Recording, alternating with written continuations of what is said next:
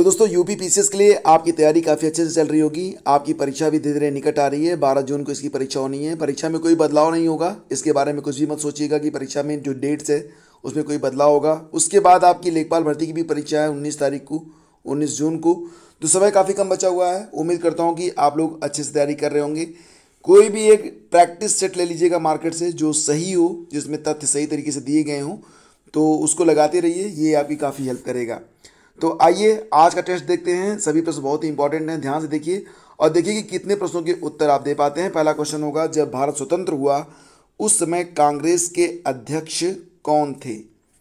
तो अगर आपने यहाँ पर गेस किया है, कौन सा? महात्मा गांधी तो गलत हो जाएगा, जवाहरलाल नेहरू भी नहीं थे, सरदार पटेल भी नहीं थे। सही जवाब है J B Kripalani. J B Kripalani को कांग्रेस का जो चौवनवा अधिवेशन हुआ था, कहाँ पर हुआ था? मेरठ में हुआ था 1946 में 1946 में। नवंबर के महीने में, उसी दौरान उन्हें कांग्रेस का अध्यक्ष चुना गया और वो भारत की आज़ादी तक कांग्रेस के अध्यक्ष रहे थे। तो याद रखना कि जब भारत स्वतंत्र हुआ, कांग्रेस के अध्यक्ष उस समय थे जे बी कृपलानी। फिर अगला क्वेश्चन है, राष्ट्रीय कांग्रेस का अंतिम अधिवेशन, जिसमें बाल गंगाधर तिलक ने भाग लिया था। देखो, बात क्या हो रही है कि राष्ट्रीय कांग्रेस का अंतिम अधिवेशन की बात हो रही है, अध्यक्षता की बात नहीं हो रही है। सिर्फ़ ये कहा जा रहा है कि अंतिम अधिवेशन जिसमें बाल गंगाधर तिलक ने भाग लिया था तो कोलकाता अधिवेशन 1906 सूरत अधिवेशन 1907 फिर कोलकाता अधिवेशन 1917 फिर अमृतसर का अधिवेशन 1919 तो ये बताओ कि बाल गंगाधर तिलक की डेथ कब हुई थी? इनकी डेथ हुई थी एक अगस्त 1920 को। तो लास्ट टाइम उन्होंने अमृतसर अधिवेशन में पार्टिसिपेट किया था 1919 में। ठीक है? तो ये याद रखना, फिर अगला क्वेश्चन है लाला लाजपत राय के राजनैतिक गुरु कौन थे? गोपाल कृष्ण गोखले जो थे, ये महात्मा गांधी के राजनीतिक गुरु थे। लेकिन लाला लाजपत राय के जो राजनीतिक गुरु थे, वो थे गैरीबाल्डी, नहीं, विवेकानंद, नहीं दादा भाई नरोजी, नहीं, सही जवाब है मैजनी। मैजनी कौन थे? मैजनी इटली के एक क्रांतिकारी थे और उनकी किताब और उनकी जीवन गाथा को पढ़ने के बाद लाला लाजपत राय ने उनको अपना गुरु मान लिया था और उनकी एक किताब थी द ड्यूटीज़ ऑफ़ मैन का बाद में लाला लाजपत राय ने उर्दू में अनुवाद भी किया था, ये भी याद रखना। फिर देखिए अगला क्वेश्चन क्या है कि कौन सा ग्रंथ ब्राह्मण वणिक की स्थिति का वर्णन करता है? ब्राह्मण वणिक की स्थिति का वर्णन करने वाला ग्रंथ निम्नलिखित में कौन सा है? महाभारत रामायण शिल्पाधिकरम या मृक्ष कटिकम सही जवाब है ऑप्शन डी मृक्ष कटिकम मृक्ष कटिकम को किसने लिखा है? शूद्रक की रचना है मृक्ष कटिकम और इसमें जो नायक है, नायक का नाम क्या है? चारुदत्त। तो चारुदत्त को ब्राह्मण वणिक बताया गया है और मृक्ष कटिकम ये रचना है चौथी शताब्दी ईस्वी की। ये याद रखना आप। रेशम बुनकरों की श्रेणी का उल्लेख किस अभिलेख में मिलता है? रेशम बुनकरों की श्रेणी का उल्लेख, भीतरी अभिलेख, मंदसौर अभिलेख, जूनागढ़ अभिलेख और प्रयाग प्रशस्ति अभिलेख में सही आंसर है मंदसौर अभिलेख। मंदसौर अभिलेख, ये कहाँ पर मिलेगा आपको? मध्य प्रदेश में मिलेगा। तो मंदसौर अभिलेख, मध्य प्रदेश से मिले अभिलेख में रेशम बुनकरों की श्रेणी का उल्लेख मिलता है, जो मूलतः लाट, यानी कि गुजरात के निवासी थे, वहाँ से मंदसौर चले गए थे, और उस समय वो दसपुर के नाम से जाना जाता था। फिर देखिए अगला क्वेश्चन क्या है? किस शासक ने स्वयं को अनूठा ब्राह्मण कहा है? बहुत ही अच्छा प्रश्न है, और इसको आप मोस्ट इंपॉर्टेंट में भी रख सकते हैं एग्ज़ाम में आ सकता है ये। किस शासक ने स्वयं को अनूठा ब्राह्मण कहा है? तो सही जवाब इसका क्या हो जाएगा? गौतमी पुत्र सातकर्णी ने कहा है। ये डायरेक्ट याद रखना है इसको। एग्ज़ाम में आएगा तो इसका उत्तर आप कर देना। गौतमी पुत्र सातकर्णी ने स्वयं को अनूठा ब्राह्मण को बताया है। निम्न कथनों पर विचार कीजिए। महाभारत से संबंधित ये तीन कथन हैं। इसमें बताइए कि कौन कौन से कथन सही हैं। महाभारत की रचना 200 ईसा पूर्व से 200 ईस्वी के मध्य मानी जाती है। पुरातत्ववेत्ता बीबी लाल ने हस्तिनापुर का उत्खनन करवाया था और महाभारत की कथा का केंद्र कुरु और पांचाल नामक राज्य थे। तो सही आंसर क्या हो जाएगा? देखो, पहला भी सही है।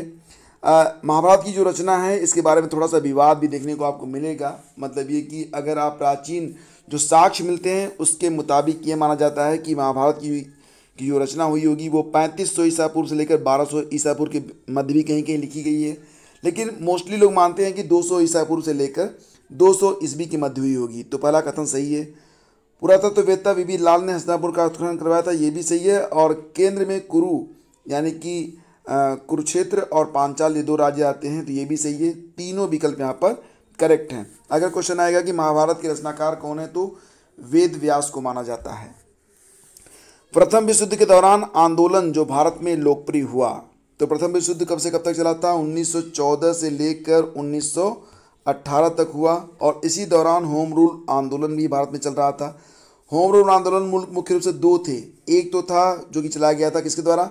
बाल गंगाधर तिलक के द्वारा, दूसरा चलाया गया था एनी बेसेंट के द्वारा। तो दोनों जो होम रूल आंदोलन थे, इसमें पहले स्टार्ट किया गया था जो होम रूल आंदोलन, वो बाल गंगाधर तिलक का था। अप्रैल में स्टार्ट किया गया था बाल गंगाधर तिलक का होम रूल आंदोलन पूना में और उसके बाद सितंबर 2000 सितंबर 1916 में स्टार्ट किया गया था जो होम रूल आंदोलन, वो एनी बेसेंट का था। एनी बेसेंट का जो होम रूल आंदोलन था, वो मद्रास में स्टार्ट किया गया था। होम रूल शब्द आयरलैंड के एक ऐसे ही आंदोलन से लिया गया था। इसका सबसे पहले प्रयोग किया था श्यामजी कृष्ण वर्मा ने 1905 में, कहाँ पर किया था? लंदन में। इसका सार्थक प्रयोग करने का श्रेय बाल गंगाधर तिलक और एनी बेसेंट को ही जाता है।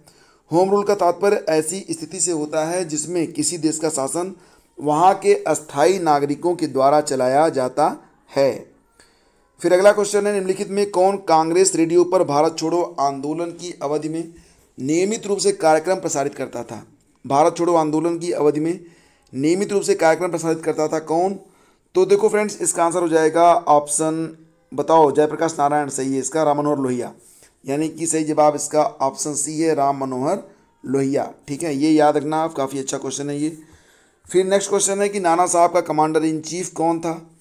कमांडर इन चीफ कौन था नाना साहब का? ये प्रश्न है। तो सही जवाब है तात्या टोपे, यानी कि ऑप्शन डी तो तात्या टोपे का जन्म कब हुआ था? 1814 में हुआ था। एओला, महाराष्ट्र में वास्तविक नाम था इनका। रामचंद्र पांडुरंग राव, इनके पिता का नाम था पांडुरंग त्र्यंबक भट्ट, माता का नाम रुक्मणी बाई।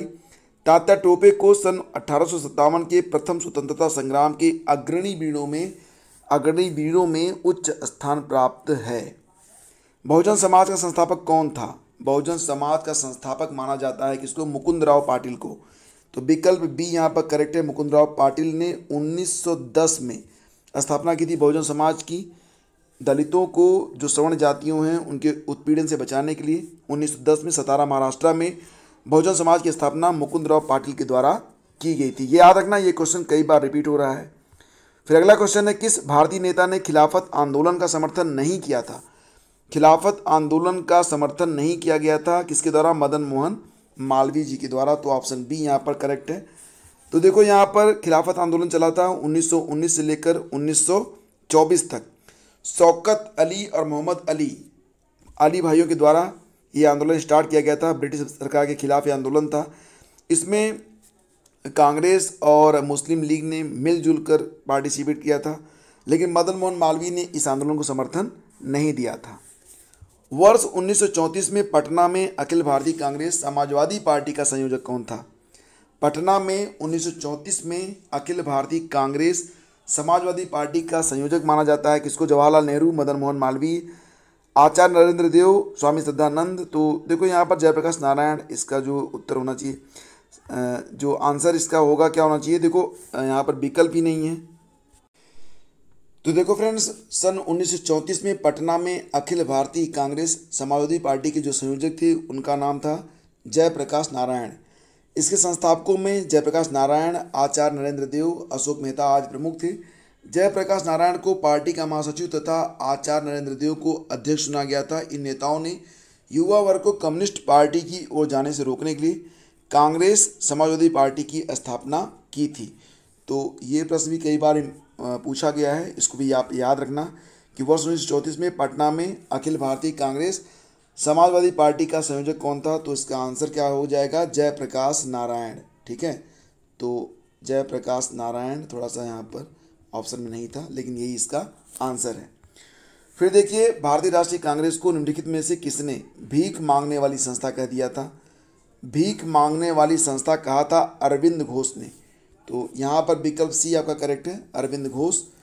तो देखिए जो अलग अलग व्यक्ति हैं जिन्होंने कांग्रेस के बारे में अपनी अलग अलग बात कही है, जैसे कि लॉर्ड डफरिन ने कहा था कि कांग्रेस केवल एक सूक्ष्म अल्पसंख्यक का प्रतिनिधित्व करता है।